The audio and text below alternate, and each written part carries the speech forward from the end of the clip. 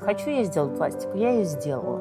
Не потому, что на меня кто-то давит, или потому что хочу об этом сказать, я об этом говорю. Не хочу об этом сказать, я не буду об этом говорить. Так поэтому мы поэтому говорим, что вы, как, как бы кайф э, вот, вот этой зрелости, в которой мы все там да, сейчас находимся, в том числе в этом, потому что могу себе позволить расстаться с офигенным мужчиной. У меня Саша фантастический.